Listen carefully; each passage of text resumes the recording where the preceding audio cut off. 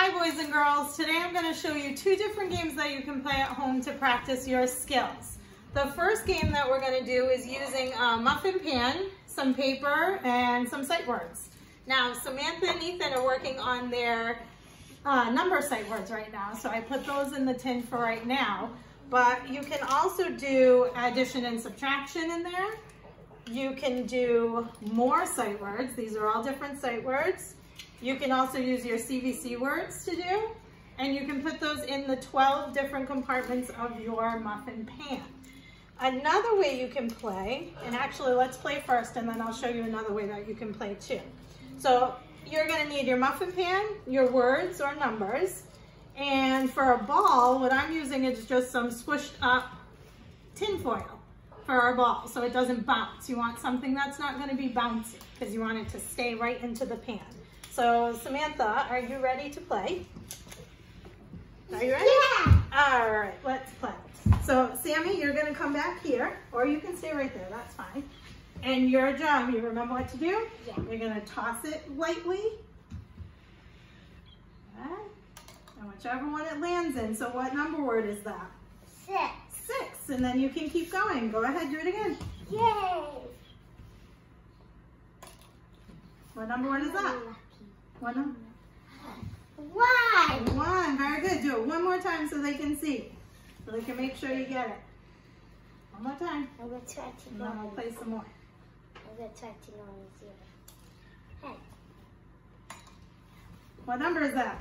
Zero. Zero. So you can see Sammy wanted to get zero, so that's the one that she tried I to get. I wanted to get on six, one, and zero. Very good. And I did it So- so easy. Another way you can play is actually, excuse me, sweetie, you can actually put in different numbers. So I'm going to throw these in really quick, right over the ones we have.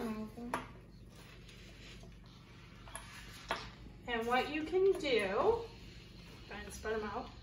I did numbers zero through 10 and I added one more zero because what we're going to do is we're going to play an addition and subtraction game with us. So what you can do is now instead of using one foil ball, you're going to use two. So I'm going to take it and I'm going to throw it in. Go ahead, you can throw the next one, Sam. Six. Mommy man on six. All right, And I and I throw it in, honey. hope I get on to right, because um, ten is my lucky number. all right, throw it in. Good job. So now for this one, for her, Ten. For her age, I would do 10 take away six. So what's 10 take away six? Use those fingers if you have to. Ten. Take away one, two, three, four, five, six, four. Four, so 10 take away six is four. So you can do it that way. You can also do it away, say I land on five and three. So you would say five plus three equals eight. So there's two different ways that you can play that game for addition and subtraction. So fun way to play, again, just ripped up pieces of paper, thrown into the muffin tin, tin foil in a little ball and throw them in. Just another fun way to practice different skills. So another game, so say you don't have a muffin tin at home. So now I took some paper, can I have this? I took some paper and I laid out, you're gonna show them this one, remember? I laid out nine words, nine sight words. So do you remember how to play? Yes. So now what you're gonna do, you have to give yourself a little room. So you're gonna stand back here, show them how you throw. Oh, that was a little too hard. That was a little too hard, a little too gentle. You can't do it too hard. Only ten. Yep. All right, and what sight word is that? And and And, very good. Go ahead, do it one more time to show them. You can't do it too hard and soft. Oh, what's that word? Remember that one? Remember, take away the E if you have to and sound it out.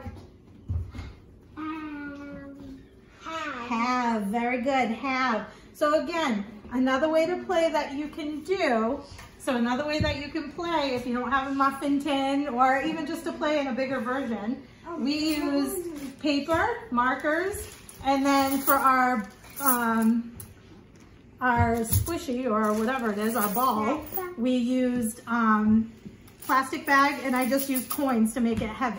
So just throw it gently. And again, if you wanna do addition and subtraction, use two bags, throw it on, and whichever numbers you land on, add them, subtract them. You can do sight words, you can do sentences, put a sentence on this. I see a little red car. Anything to get them practicing, okay? So again, we have Muffin Tin game and just our puzzle game over here. So again, I will be back again with some new games and activities, but keep practicing those skills. And again, show me some videos, send me some pictures. I'd love to see you practicing. I'll see you soon. Bye-bye.